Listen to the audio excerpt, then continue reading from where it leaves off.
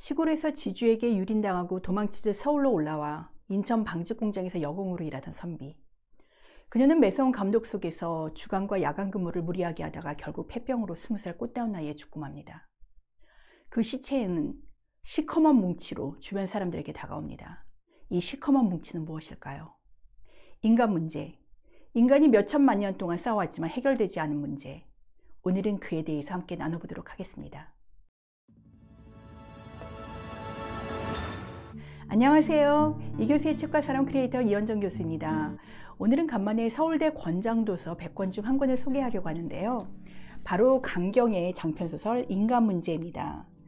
강경애는 일제 식민지 시설의 소설가입니다. 그녀는 황해도 송화군 출신으로 1906년 가난한 농민의 딸로 태어납니다. 일찍이 부친을 여인 뒤 재혼한 모친과 함께 살았다고 하네요. 그녀는 평양 숭의여학교에 입학하여 평양의 학생운동에 참여했고 3학년 때 동맹 휴학에 가담한 혐의로 퇴학 처분을 받았습니다. 이후 동덕여학교에 편입하여 수학했고요. 1924년, 그러니까 그녀가 18살 때 처음으로 단편시를 발표한 이후 독자 투고 형식으로 글을 게재했는데요. 1931년 단편소설 파금으로 문단에 데뷔합니다. 그렇지만 그녀는 불우한 가정 환경과 궁핍으로 인해 서울 중심의 문단 활동을 하지는 못했고요. 식민지 시기 다른 여성 작가와는 상당히 다른 삶을 살았습니다. 서울을 떠나 나중에는 황해도와 간도 등지에서 문필 생활을 했는데요. 오늘 소개드릴 인간 문제는 1934년 동아일보의 연재한 소설로 강경애의 대표작이라고 할 수 있습니다.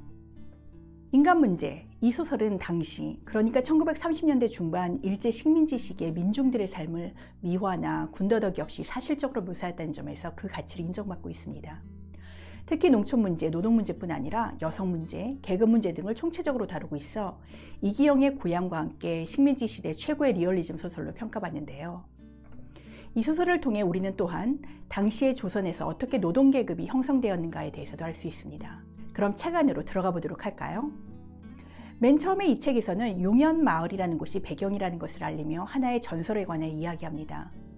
용현 마을 아래에는 원소라는 커다란 못이 있는데 그 못과 관련된 전설이죠.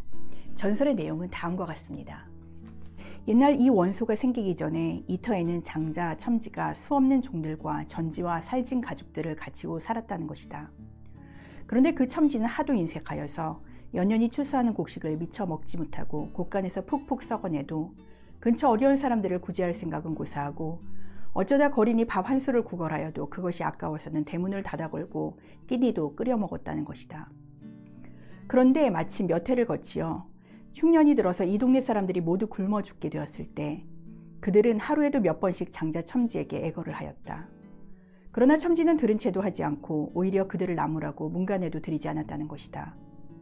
그러므로 그들은 하는 수 없이 몰래 작당을 하여 가지고 밤중에 장자 첨진의 집을 습격하여 쌀과 살진 짐승들을 끌어냈다는 것이다.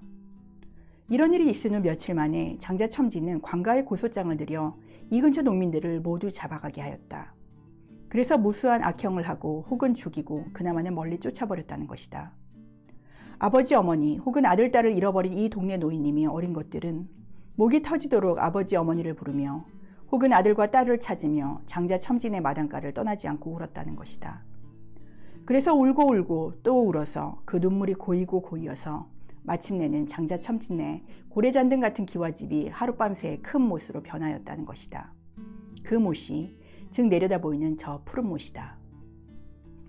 원소의 전설은 이 책의 주제를 관통합니다. 아주 오랜 옛날에도 농민들은 궁핍하였고 지주들은 그들에 대한 착취를 계속하였으며 그들 간의 갈등과 투쟁이 계속되었다는 것을 보여주기 때문이죠. 이러한 계급 갈등의 주제는 이 책의 전체에 걸쳐 계속되는데요. 가지지 못한 자와 가진 자의 대립. 그것은 두 가지 측면으로 나타납니다. 농촌에는 지주와 소작농 간의 관계를 통해 그리고 도시에서는 공장 관리자와 노동자의 관계를 통해서 말이죠. 용현 마을에는 정도코라는 지주가 살고 있고 주변 농민들은 그에게 땅을 얻어 소작을 합니다. 주인공이라고 할 수 있는 선비의 아버지는 정도코의 일꾼이었는데 정도코가 빚을 받아오라고 했으나 아이들이 줄줄 딸린 사람이 도저히 빚을 갚을 수 없는 상황인 것을 알고 도리어 도와준 죄로 정도코에게 맞아 죽습니다. 이후 어머니와 둘이 살던 선비, 그러나 얼마 안 있어 어머니마저 죽고 선비는 정도코의 집에 몸종으로 들어갑니다. 정도코는 탐욕적인 지주입니다. 그는 농민에게 돈을 꿔주고는 그것을 높은 이자를 쳐서 받아낼 뿐만 아니라 수확을 한 뒤에도 실제 곡식 가치보다 낮게 쳐서 배분해 주는데요. 그러면서도 자신이 엄청난 인심을 쓰는 양 생색을 냅니다. 결국 많은 쌀을 빼앗기고 몇 달 먹지도 못할 식량만을 받아안게 된 농민들. 그러나 정도코는 스스로 면장이 될 뿐 아니라 주변의 순사들과 한패거리가 되어 법이라는 이름으로 자신에게 반항하는 사람들을 냉혹하게 처단합니다. 마을 매음녀의 아들이자 궁핍한 생활을 하는 첫째는 타작마당에서 어떻게든 농민들에게 품삯을 제대로 쳐주지 않으려는 정도코에게 반항하다가 미움을 받아 밭을 떼이고 맙니다. 그게 법이라는 것입니다. 관련 부분을 한번 읽어보도록 하겠습니다. 첫째는 드디어 밭을 떼이고 말았던 것이다. 오늘 군수 영감의 말을 들으면 이 면사무소는 농민들이 잘 살기 위하여 힘쓰는 곳이라는데 여기까지 생각한 그는 자기만은 이 동네의 농민이 아닌가 하는 의심이 부쩍 든다. 덕호로 말하면 이 면의 어른이 면장이라는 지위를 가지고 있는데도 불구하고 붙이던 밭을 그에게 떼이지 않았는가. 응, 나는 그때 그 구루발을 깨친 것이 법에 걸리었기 때문이라지. 법, 법. 오늘 군수영감에 말씀한 것도 역시 내가 행하지 않으면 법에 걸리게 될 터이지. 그러나 오늘의 붙일 밭이 없는데 걸음은 만들어두면 뭘하나. 그 법. 그는 날이 갈수록 이 법에 대하여 점점 더 의문의 실뭉치가 되어 그의 가슴을 안타깝게 보챈다.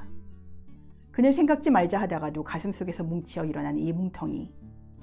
그 스스로도 제어하는 수가 없었다. 첫째 자신은 이 실성분가침의 법을 지키려고 애를 쓰나 웬일인지 날이 갈수록 자신은 이 법에 걸려 들어가고 있는 것을 안타깝게 발견하였던 것이다. 선비는 아주 고운 미모를 가지고 있습니다. 그래서 선비를 좋아하는 남정네들이 많았는데요. 그중 첫째는 가난하고 어머니가 몸을 파는 여자라는 이유로 마을에서도 소외된 청년이지만 선비를 어릴 적부터 좋아합니다. 또 지주인 정도코의 딸 옥점이 좋아하는 서울에서 내려온 경성제 대 학생 신철도 선비에 대해 연모의 마음을 품습니다. 그러나 예쁜 선비를 가만히 놔둘 정도코가 아닙니다. 마을의 반반한 여자라면 모두 꿰어서 자기 아들을 낳게 하려는 욕망을 가진 정, 지주 정도코는 선비에게 서울에 가서 공부시켜주겠다는 감언으로 꿰어서 결국 선비를 강제로 범합니다. 정도코의 부인에게 의심을 사서 결국 집을 나가라는 소리를 들은 선비는 예전의 친구이자 마찬가지로 정도코에 의해 유린당했던 갓난이를 찾아 서울로 올라가는데요. 또 인천에 가서 부두노동자가 된 첫째가 있습니다. 선비는 첫째가 인천에서 일하는 줄은 알지 못했지만 친구 갓난이를 통해서 인천의 방직 공장에 노동자로 들어가게 되고 이들은 모두 인천이라는 곳에서 노동자로 일하게 됩니다. 한편 정덕호의 딸 옥점이 연모하는 신철은 경성제대 4학년생인데 재산이 많은 옥점과 결혼하라는 부모의 강권을 뿌리치고 가출을 합니다. 그는 민중계급을 해방시키고자 하는 대학생 운동조직에 속해 있었는데요. 운동조직에 속해 있는 인텔리라는 작자들은 사실상 게으르기 짝이 없고 떠들 줄만 아는 사람들입니다. 그들은 자기 입에 풀칠 하나 스스로 할 줄도 모르면서 잡지나 신문사 경영이나 생각하는 사람들입니다. 관련 부분을 한번 읽어보겠습니다. 신철이는 빙긋이 웃었다. 그리고 이 동무들이 그나마 자기가 인천으로 가면 어쩔 셈인가 하였다. 그리고 차라리 저러고 있을 바에는 시골집으로 내려가서 아내가 하는 농사일이나 뒷배를 보아주었으면 좋으련만 그 고생을 하면서도 그래도 이 서울 구석에 붙어 있으려는 그들의 심리가 생각수록 우습고도 맹랑하였다. 그들의 유일의 희망은 어떤 자본가를 붙잡아 가지고 무슨 잡지나 신문사나 경영해 볼까 하는 그런 심산이었다.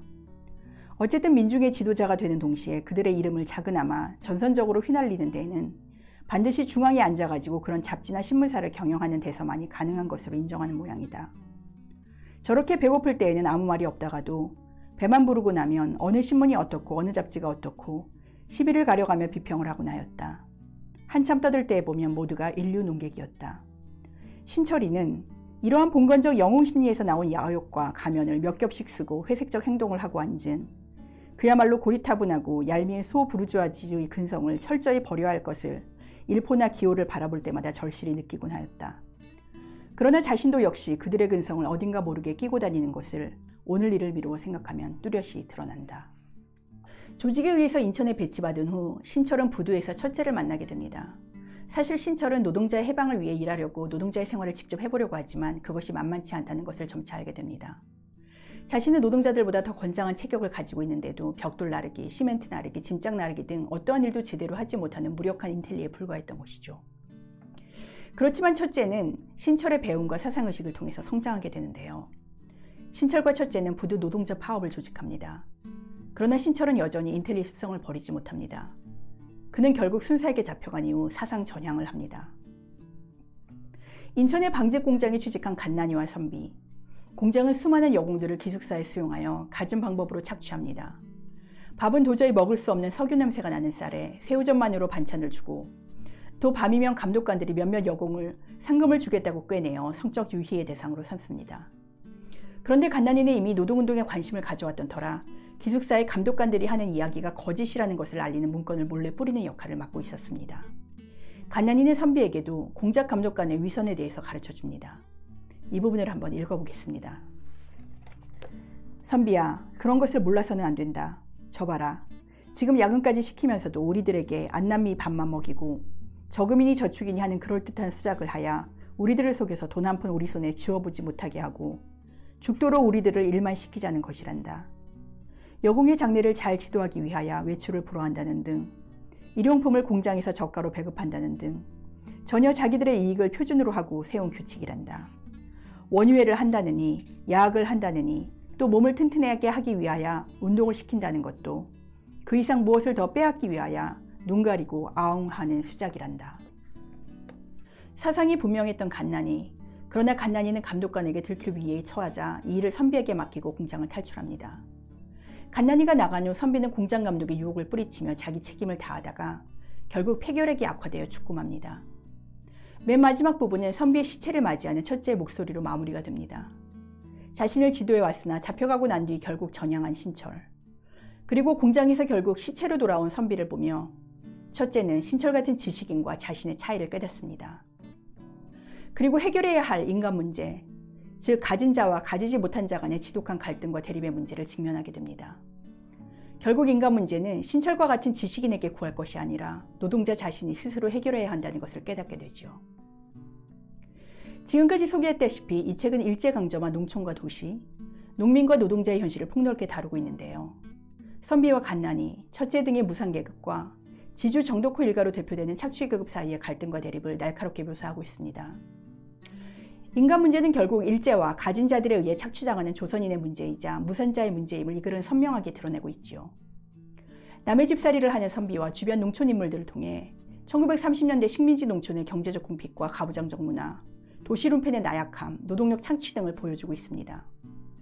경제 수단을 무기로 삼아 무산자의 노동력과 성을 착취하는 지주 덕호와 공장 감독, 착취의 끈을 끊어줄 듯 하면서도 결국에는 손을 빼는 비겁한 지식인 신철, 그리고 선천적으로 착취 대상으로 태어나 평생 생명조차도 제대로 보존받지 못하는 갓난이, 첫째, 선비 등의 모습을 통해 당시 일제강점기 하에 무산자들의 유린된 생존권의 문제를 보여준다고 하겠습니다. 일제 검열이 삼엄했던 1930년대 아마도 많은 작가들이 현실을 외면했을 겁니다. 그렇지만 당대의 부조리하고 비참한 현실을 강경에는 숨기지 않고 드러내는 용기를 가지고 있었고요. 또 당시 남성이 중심이 되었던 문학판에서 여성으로서 여성 창조의 문제를 다른 노동 및 계급 문제와 더불어 함께 강렬하게 다루고 있다는 점에서도 단연 이 책은 독보적이라고 할 수 있습니다. 그렇지만 이 책의 맨 뒤에 실려있는 작품 해설에서도 언급되어 있듯이 하나의 소설로서 이 책이 가지고 있는 한계도 없지 않습니다. 먼저 사랑의 문제를 매우 관념적으로 처리하고 육체적인 관계는 마치 악인 것처럼 금욕주의적인 정서가 강하게 들어가 있다는 점이 그 중 하나라고 할 수 있는데요. 이 책에서는 지주인 정덕호와 그의 딸 옥점이만 육체적인 욕망에 충실하다는 점을 보면 작가가 육체성을 악으로 여기고 있었다는 것을 알 수 있습니다. 또한 전체적으로 등장인물들이 평면적이라는 한계가 있습니다. 지주는 악이고 공장 관리자도 악이며 소심이 인텔리는 배반자고 소작농과 노동자 그리고 다른 무선자들은 모두 선이라는 단순 대립구도는 전체 이야기를 지나치게 단순하게 만드는 감이 있습니다. 사실 아무리 어목한 시절이라고 하더라도 실제 현실은 그렇진 않았겠죠. 소시민이라고 하더라도 다양한 사람들이 존재했을 것이고 무산자들 중에서도 다른 입장이나 선택을 하는 사람들도 있었을 겁니다. 지주 중에서도 반드시 악덕 지주만 있었던 것은 아니겠죠. 그런 면에서 이 책은 문학적인 측면에서 보면 우리의 상상력을 제한하고 투쟁적인 면모만 지나치게 강조되어 있다는 느낌을 받을 수밖에 없습니다. 네, 오늘은 서울대 권장도서 100권 중에서 강경의 인간 문제를 소개하는 시간을 가졌는데요. 어떠셨는지요? 오래된 책들도 오늘날에 다시 읽어보면 또 새로운 생각을 하게 되고 우리의 현실은 또 얼마나 바뀐 것인지 성찰하게 되곤 합니다. 힘없는 자들 또는 무산자들의 궁핍과 고통의 문제는 어찌 보면 오늘날에도 완전히 해결되지 않은 문제라고 할 수 있는데요. 전반적으로 노동자의 지위는 높아졌다고 할 수 있지만 여전히 하청업계에서 일하거나 계약직으로 위험한 노동에 종사하고 있는 사람들의 문제는 해결되지 않았습니다. 여러분들께서도 기회가 되시면 또 서울대 권장도서인 만큼 한번 읽어보셔도 좋을 것 같습니다. 오늘 영상이 좋으셨다면 좋아요, 구독, 알림 설정 부탁드리겠고요. 저는 다음 시간에 다시 좋은 책을 가지고 여러분들을 만나 뵙도록 하겠습니다. 감사합니다.